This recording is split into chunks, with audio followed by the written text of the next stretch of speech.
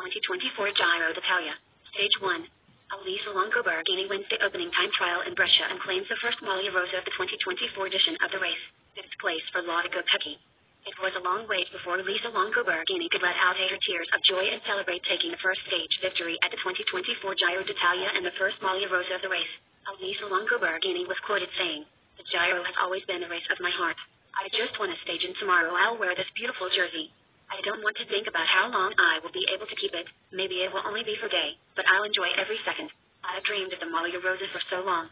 I dedicate this win to the team, which supported me so well again today, and to my husband Jacopo, who always has the right words to say in my moments of maximum tension. I am really proud of today's result. I knew I was good, that I could do a good race and get a good result. In the end, it was super good result. To hit a double target like the stage in the race lead is without doubt a special thing. I am also happy to have given continuity to a season that has been really solid so far. It's a great start to the Giro, the best I could hope for. As a team, we came with great ambitions and a very strong roster. We have clear ideas about our goals and today, with my success and Brodie's podium finish, we proved it. I want to think it will be a good week. Tomorrow will be definitely a special day with the Maglia Rosa on my shoulders, but I expect every day to be a battle. It's a very open race, especially in the last three days. They are beautiful, intriguing stages. To be leading the GC is a great joy and a great boost of confidence. We have a plan, as a team, and we will do our best to put it into action.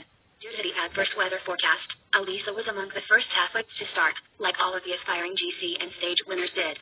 She crossed the finish line after covering the 15.7 kilometers course in 20 minutes 37 seconds, 25 seconds better than Lotte Kopecky, SD Worx, and giving a clear signal of just how good her performance was.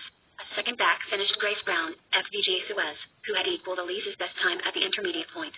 A long and stressful wait began, but it ended in sweet victory. For Elisa Longo Borghini, it's the third stage win of Giro d'Italia of her career and the second time wearing the Maglia Rosa. Last but not least, Brodie Chapman Lidl Trek put on a superb performance to place third, 13 seconds down. Thanks, legends, and I hope you are all well. Don't miss a moment from the sports that you follow. Help us to bring you the best content possible. Subscribe, share, like, and vote in the community polls.